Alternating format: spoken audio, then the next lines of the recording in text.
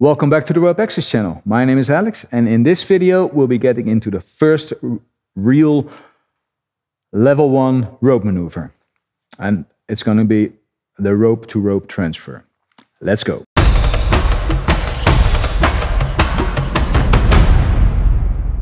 So why would I need to get into another set of ropes? For instance, I need to work underneath a platform, but my only real access is from here.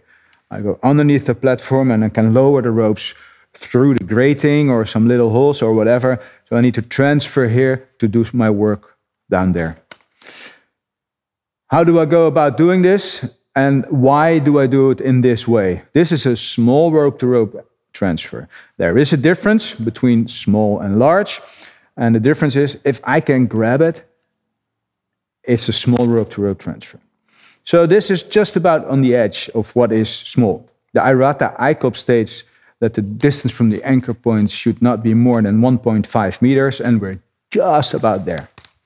So I can grab these ropes and transfer over. The other consideration is what will happen if my rope will break? Where will I swing against? If this wall would be here, then I might want to treat this as a large rope to rope transfer. There is an extra step you have to do with a large rope to rope transfer, but we'll get into that in that video. So, what do I do? I grab my ropes where I want to go to. I take one of the ropes and I decide I want this to be my new working line. I put that in my chest ascender, give it a little pull, I can actually let go of this one because right now it's real easy to reach because I'm already a little bit closer. So I'm partly suspended in my Croll. I'm gonna need my hand ascender anyway to transfer back over. So I hope I get that. Lock all the beaners, put my foot in, give it a little, little bit of tension. And the easiest way is we always want to work with gravity, not against. So I could start climbing, but I would be getting some swinging going in, going on, and we always want to minimize that. So what I do, it's fairly easy. I have my chest ascender, my hand ascender, and now I just lower into the new set of ropes.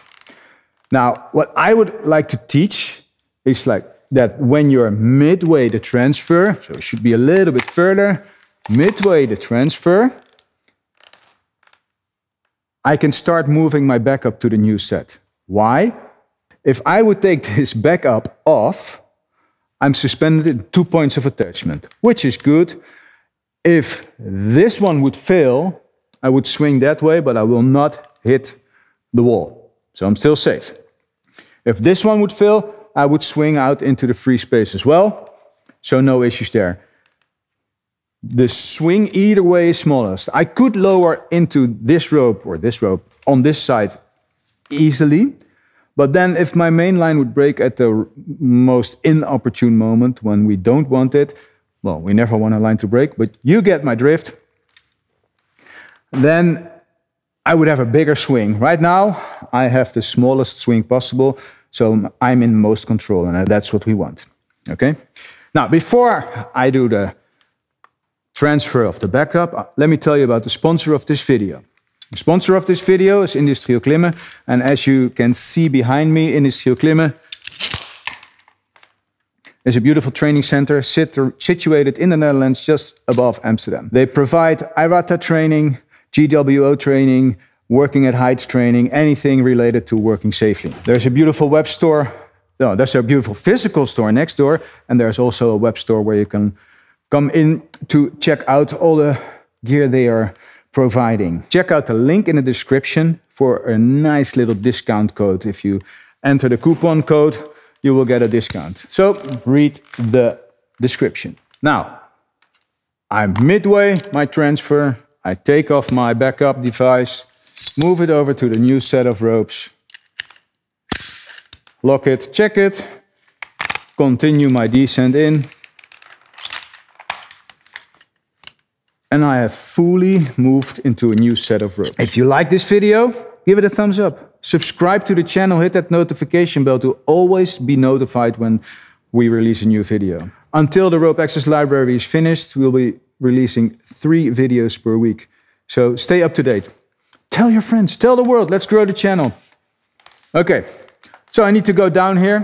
I take out my descender. I put it on the rope where I want to transfer into. And how you should do this, you can check it in the video right there. We're going to change over from descender to, from ascender to descender, I'm sorry. Make the distance as short as possible. Manage my backup, lock to the ID.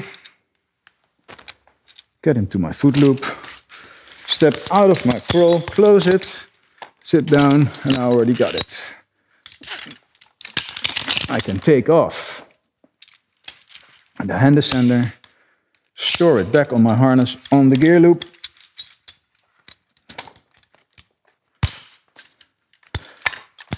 And I will see you in the next video. Peace!